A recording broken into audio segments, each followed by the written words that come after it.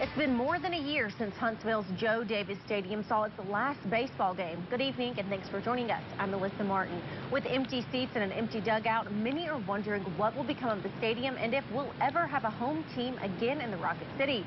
WAAY 31's Kat Reed joins us with some answers from the city about the future of the Joe. Kat?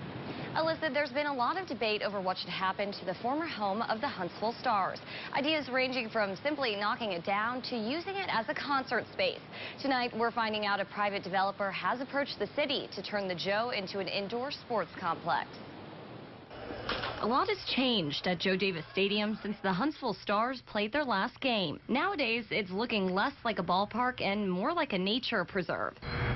They're keeping the outside of it clean and just keeping it secure, but it but the facility is not usable in its current state. But the weeds you see behind me and other signs of disrepair could soon be disappearing.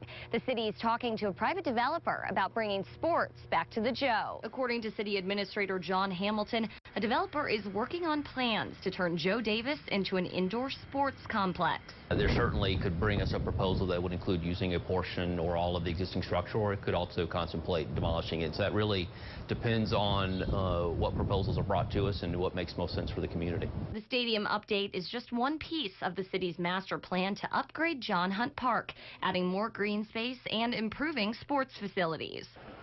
The city is also not giving up hope that one day a new minor league baseball team will call Huntsville home. If there's a league out there, whether it's professional or otherwise, that's interested in bringing a team to Huntsville, we will always listen to them, and so they certainly would be welcome to bring us proposals, but uh, at this point, no one, no one has. And John Hamilton told WAAY 31 earlier this year that the renovations to John Hunt Park could take a decade. Alyssa?